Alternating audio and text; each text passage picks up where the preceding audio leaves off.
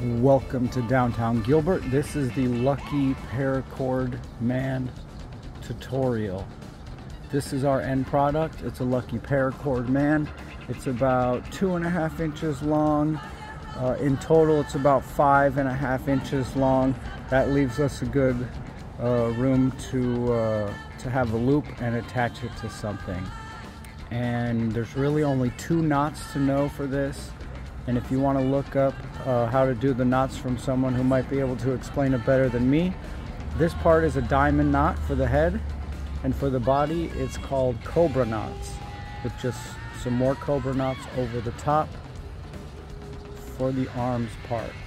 So what I'm going to be using is some 550 paracord, something to cut with, and a lighter to finish the ends.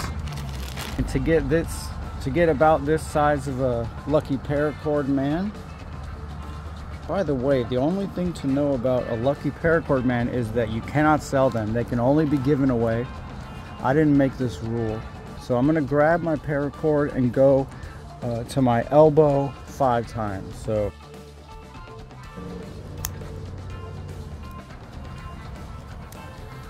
and we're left with a strand of paracord and we will find the center of it.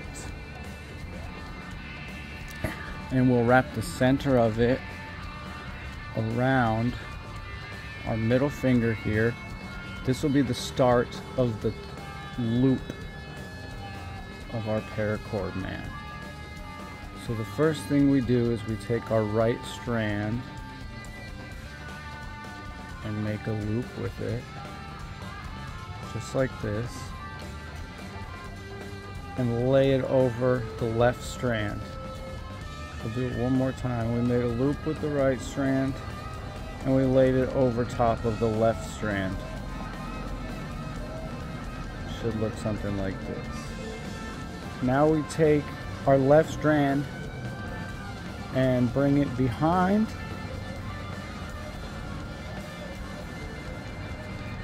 up and under itself on this loop that we made under itself on the loop we made. So it's going through this loop under this one. We're left with something that looks sort of pretzelish and you can kind of straighten it out. It should look like this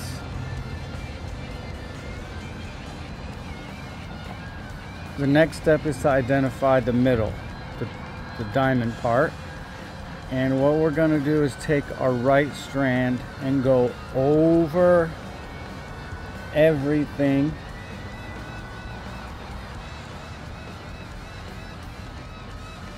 and through the middle diamond. The next thing is to take the left strand swap places with it and the same thing. Go through the back through the front of that middle diamond. Now this is the hardest part for me is forming the head. And you have to make sure to not twist anything. And you sort of just keep it together but shorten all of them. And you may get to a point where it just doesn't look like it's working. I've gotten there a bunch of times. Uh, at that point, just start this part over. We're just kind of tightening everything as we go, trying to keep it into a ball. It kind of helps if you just really work it like this trying to work it into a ball. If you were to just pull on any one of these strands, it would kind of ruin it.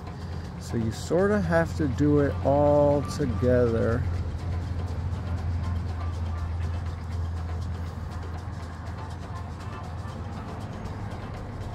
And if there's any big piece sticking out like this one, you can just push it through and follow it around.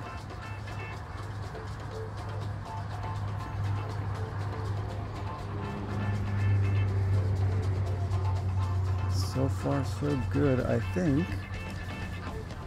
I'm still just kind of working this around. And once you make a couple paracord men, you'll know when the head is sort of working and when it's not.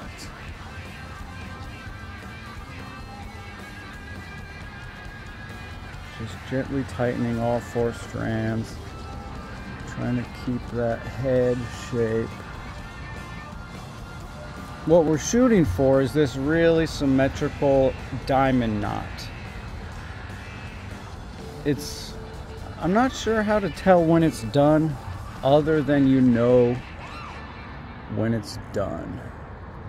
See, so I see some slack here. I see some slack right there. I'm gonna pull that through. We can see that weave pattern coming through on the head. It should be, look like a weave pattern all the way around his head. And it should be very symmetrical. And this is close but I'm almost satisfied with this head. I think I'm gonna live with this. It's not perfect.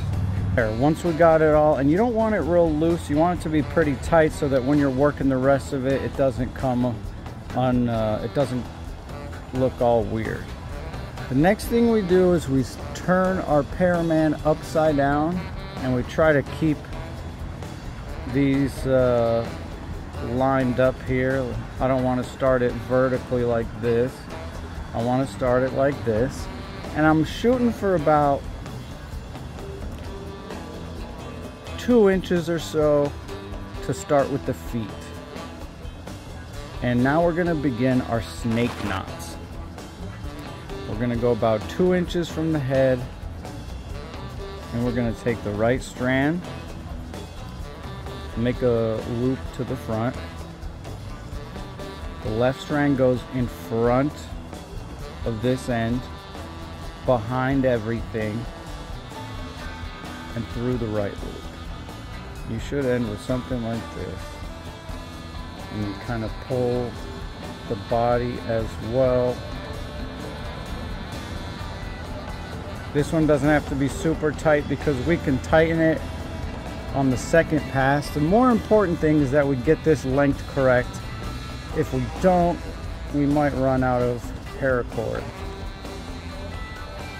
But so far so good. We have our loop, we have our head, and we're gonna go about two inches up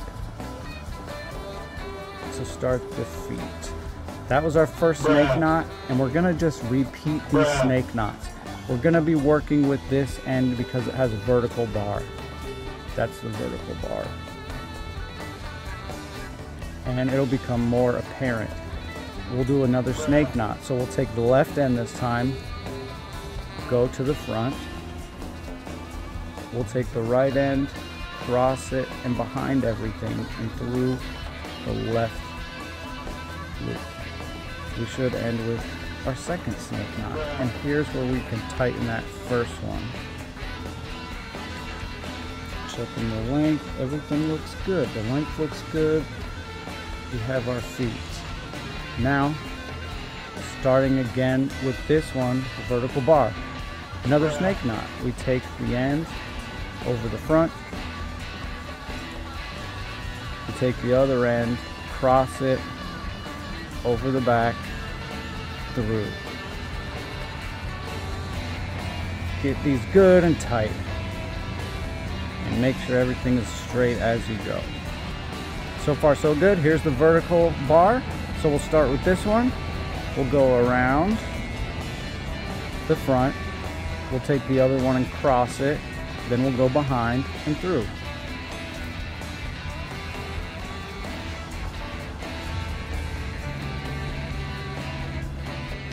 And when we get to the end, you can leave a little bit of a neck, but I wouldn't leave a neck much longer than that. And I'm actually going to close that up. One final cobra knot, sorry, cobra knot. I think I call it a.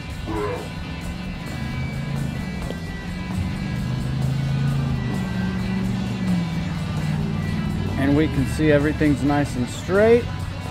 We got one, two, three, four, five, six. One, two, three, four, five, six. You're shooting for between five and six.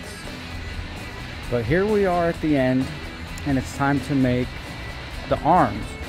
What we're gonna do for the arms is take our finished guy, it doesn't matter what side, we're gonna flip him upside down. No, sorry, we're not gonna flip him upside down. Well, yeah, because we were working from this way. We're gonna flip him upside down, and we're gonna repeat the process of cobra knots over the top of our old cobra knots. So here's the vertical bar, we'll do the same process.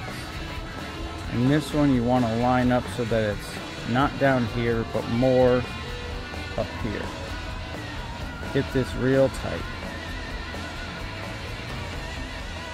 And flat. And we do the same thing. Here's our vertical bar. We will do more cobra knots.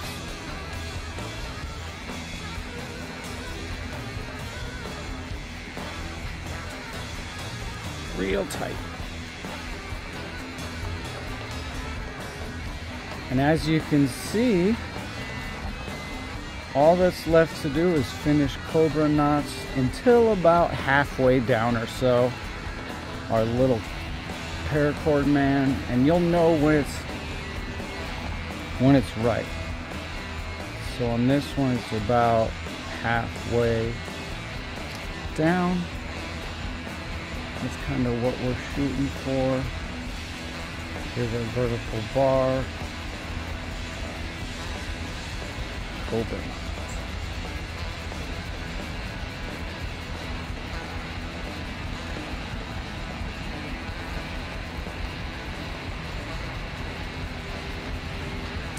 So maybe looks like one more. Maybe one more. Maybe two more. We'll see. And tight. See, does that look like a good man? Or if we do one more, is that going to be two long arms?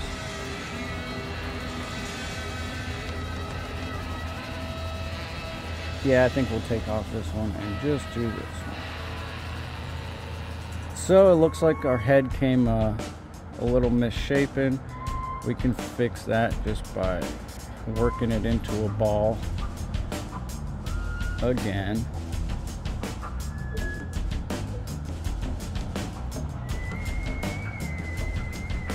Very good. Get these real tight.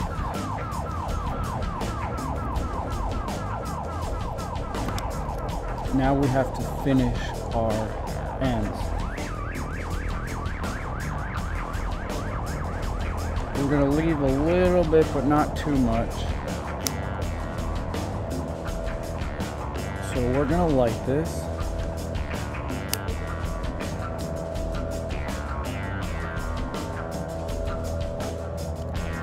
We're to get it good and blobby.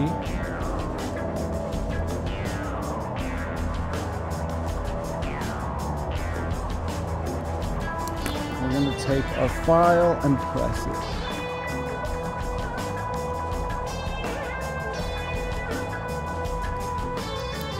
Gives a nice little texture.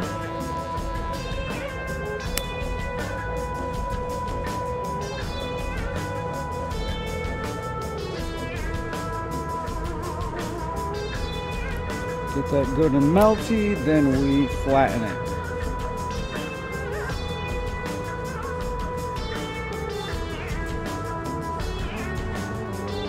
And what we have is a completed lucky paracord man. We have plenty of room to uh, to hitch it onto something, a zipper pull, or uh, release them into your neighborhood. you know, uh, that's our lucky paracord man.